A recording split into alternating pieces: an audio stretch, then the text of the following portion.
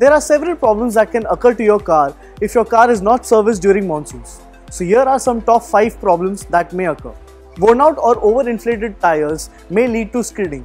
Kindly check or if necessary, please replace them. Consumables like brake fluid oil, engine oil, transmission oil, driver belt, coolant should be changed as per their schedule. If not, these might lead to breakdown to your car.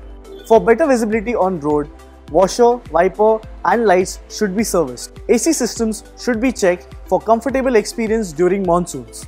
Avoid such situations with a plume courtesy during these monsoons. Contact Sai Service.